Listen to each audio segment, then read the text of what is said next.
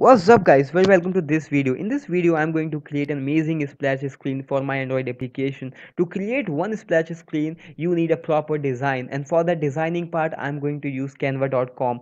Also, I'm going to use Adobe XD for creating different uh, dimensions of layout like sdpi and LDPI and from and all that we're going to use in our Android application. So I will not waste much of your time. Let's get started. Silent nights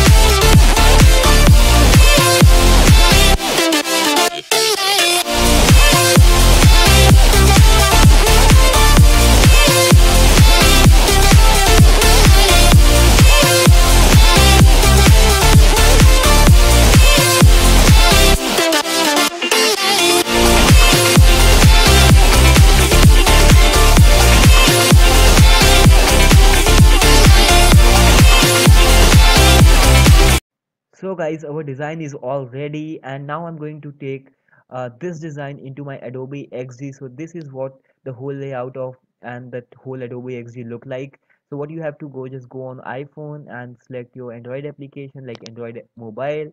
Once you will click this it will automatically take you to the page where you can design all that other stuff that what what we need.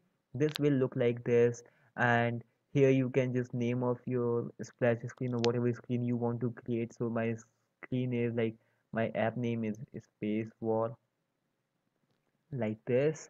And now i'm going to uh, open that image or i'm going to use that image which we have created from uh, uh, canva.com uh, that i'm going to use here. So let's go. So this is the image. Open this let's increase its size. Take this into the center like this and drag the image into here.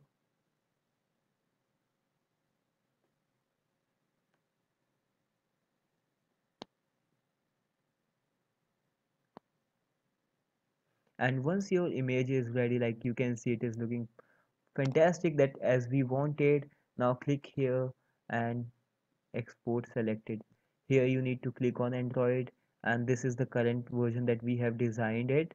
Now change the location and it's up to you that at what location you want. So let me go and create it for space war.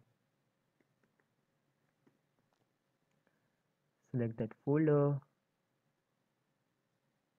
Folder selected and export now this is what we have exported from adobe xd so here you can see different dimension of folders has been created and in these folders we have different dimension of images of our design. So here you can see this image is for hdpi this is one is for ldpi and so on mdpi and XHDPI and this is what the advantage of using Adobe XD and uh, also using a different platform like canva.com so these both combination is just giving us a good result like these images you can create for your Android application. Now what I'm going to do I'm going to use these images into my Android application